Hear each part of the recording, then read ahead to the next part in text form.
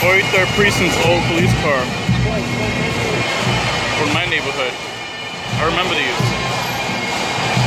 I actually miss these.